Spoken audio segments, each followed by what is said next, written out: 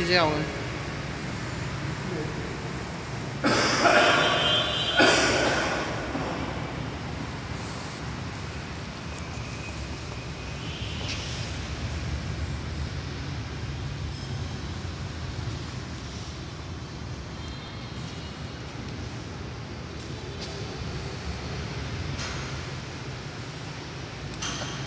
anh bấm ngược lại phát anh chuyên